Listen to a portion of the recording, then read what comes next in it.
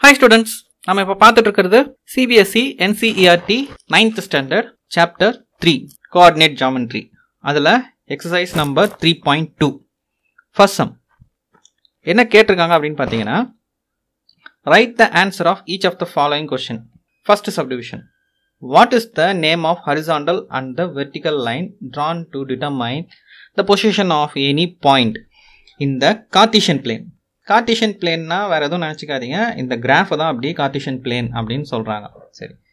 இதில் horizontal and vertical லைன்ஸுடைய name எப்படி டிட்டர்மைன் பண்ணுவோம் அப்படின்னு தான் நம்ம கேட்டிருக்காங்க.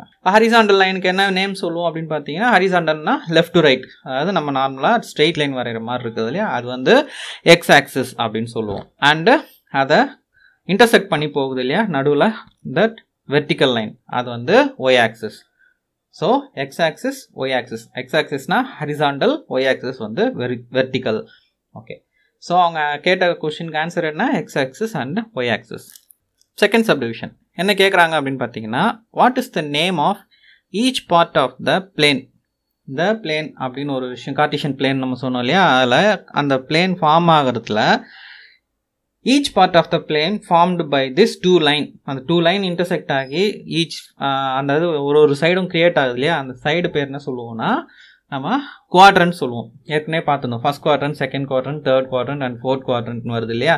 ஸோ அதுக்கு பேர் என்ன சொல்கிறாங்க குவாட்ரண்ட் குவாட்ரண்ட்னா என்ன? இதை பிளேனுடைய ஒரு சைடு பேர் குவாட்ரண்ட் அப்போது நமக்கு நாலு சைடாக பிரிக்கிறதுனால ஃபஸ்ட்டு செகண்ட் தேர்டு ஃபோர்த்துன்னு சொல்கிறோம் so answer is quadrant third subdivision third சப்டிவிஷனில் என்ன கேட்டிருக்காங்கன்னா right the name of the point where this two lines intersect intersect ஆகிறதா என்னென்னா ஒன்றுத்தோட ஒன்று ஒன்று மேலே ஏறி போகிறது வந்து ஒரு இடம் டிஸ்டர்ப் ஆகுது இல்லையா? அந்த இடம்னு பார்த்தீங்கன்னா அந்த சர்க்கிள் பண்ணியிருக்க இந்த இடம். ஸோ இந்த சர்க்கிள் பண்ணுற இடம் தான் என்ன ஆகுது? இன்டர்செக்ட் ஆகுது. ஒன்றுக்கு மேலே ஒன்று கிராஸ் ஆகி போகுது. தட் இஸ் இன்டர்செக்ஷன் சொல்லுவாங்க. ஸோ இன்டர்செக்ஷன் ஆகிற இந்த ஏரியா பேர் என்னன்னு கேட்குறாங்கன்னா ஆரிஜன் ஸோ நம்ம என்ன சொல்லியிருக்கோம்? ஏற்கனவே இன்ட்ரடக்ஷனை சொல்லும்போது origin is the starting point of positive and negative வேல்யூஸ்னு சொன்னோம் ஸோ அந்த இடம் பேர் என்னது?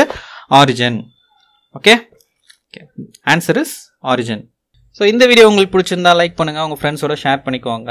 ஏதாவது டவுட்ஸ் ஆர் ஒப்பீனியன் இருந்தால் கமெண்ட்டில் சொல்லுங்கள் இது வரைக்கும் நம்ம சேனலை சப்ஸ்கிரைப் பண்ணலாம் சப்ஸ்கிரைப் பண்ணிக்கோங்க. கூடவே அந்த பெல் ஐக்கான் கிளிக் பண்ணிக்கோங்க. அப்போ தான் நாங்கள் போஸ்ட் பண்ணுற வீடியோஸ் உங்களுக்கு உடனே கிடைக்கும். நோட்டிஃபிகேஷன்லேயும் காட்டும். Thank you students